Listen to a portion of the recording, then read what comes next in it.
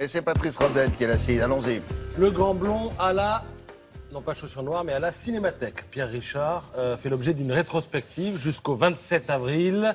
C'est dans le 12e, à la Cinémathèque, à Paris. Euh, alors, une expo, des films. Pierre Richard présentera lui-même certaines projections. Il a carte blanche pour partager ses coups de cœur. Il y en a au moins deux. Mon oncle euh, de Tati et Comme un avion de Podalides.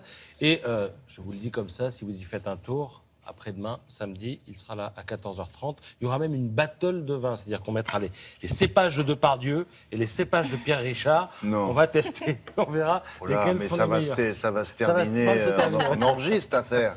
Il a des vignes en roussillon, le Pierre Richard. Alors tout ça lui vaut une interview longue et agréable dans le Parisien ce matin. Euh, pas mal de choses à retenir. Je retiens une chose, il regrette d'avoir refusé un rôle qui a été accepté ensuite par Coluche dans un film avec Louis de Funès. Ça Ah vous dit quelque chose Ah. L'aile ou la cuisse. Le Zidi. Ah ouais, ouais. 1976, on lui avait proposé le rôle, il a refusé. Il dit je regrette maintenant. Une envie de vacances peut-être. Alors sachez que si vous allez au Brésil, le pourboire à l'hôtel, ça n'est pas obligé. Si en Angleterre vous buvez un verre, pas nécessaire non plus de laisser euh, un service quelconque.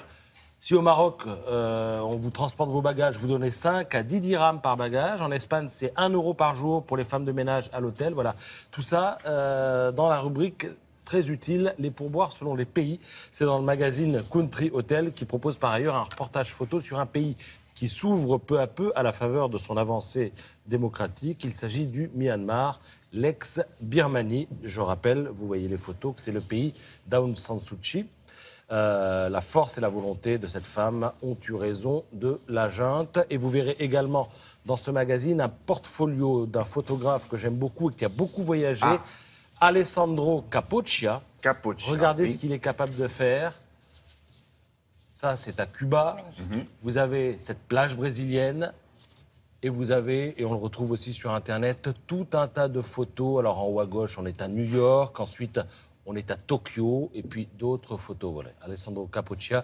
Le portfolio est dans euh, le magazine euh, dont je vous parle et qui s'intitule. Mon Dieu, non, j'ai pas oublié son nom. Ça va revenir. Ah, bon, le temps de trouver. Euh, un petit mot avec euh, le Radio Web. Country à- Hotel. Pardon. Country Hotel, le nom du magazine. Hotel. Pardon, je vous ai coupé. Euh, les numéros surtaxés, vous partez en guerre. Oui, je pars en guerre. C'est une expérience personnelle. J'en ai assez d'appeler des numéros. Maintenant, même quand vous voulez commander des sushis, le numéro est surtaxé. Et on vous dit non seulement qu'il y en a pour 0,80 centimes par minute, mais en plus que vous allez devoir attendre 15 minutes. Donc j'ai trouvé le site, c'est nonsurtaxe.com. Il y a tous les numéros non surtaxés, vous ne payez plus rien. Donc voilà, c'est c'est pour les consommateurs, c'est bien. Vous pouvez même participer si vous aussi vous avez des numéros que vous connaissez non surtaxés, vous pouvez les inscrire sur le site. Merci beaucoup. Avec Anissa oui, maintenant, qui s'intéresse chaque semaine. Qu'est-ce qui se passe aux chaînes étrangères? Ici, elle ne sait pas, elle ne sait même pas euh, ce qui se passe sur, la chaîne voisine. Non, non, rien. Là, elle vous propose d'aller au Royaume-Uni. Une, une- une mission sur le, le mariage. Je vous direz, oh